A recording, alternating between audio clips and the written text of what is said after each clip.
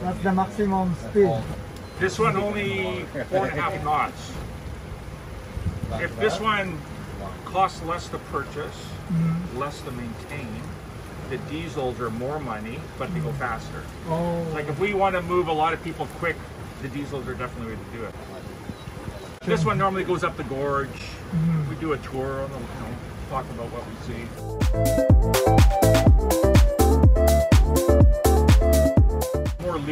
but uh, we're trying to move. When we have cruise ships here with hundreds of people wanting to go somewhere, then these are no good. Oh. Those are faster. Oh.